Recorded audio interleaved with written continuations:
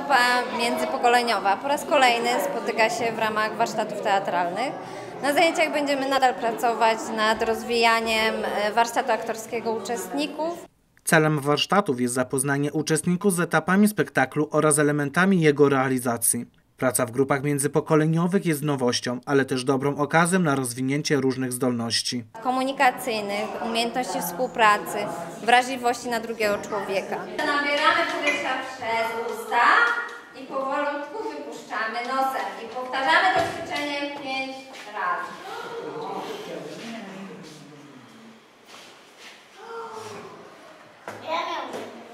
Na straganie, gdzie targowy, takie słyszy się rozmowa. Może pan się o nie oprze, pan tak wierny, panie Koprze. Cóż się dziwić, mój szczypiorku, leżę tutaj już od E, Na kolejnych zajęciach skupimy się na przygotowywaniu kostiumów i rekwizytów niezbędnych do tego przedstawienia.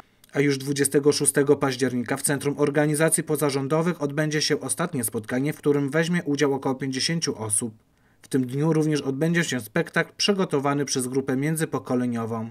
Podczas tego spotkania nastąpi też kolportaż kalendarza Smaki Dzieciństwa, e, wzbogaconego o zdjęcia i przepisy kulinarne samych uczestników.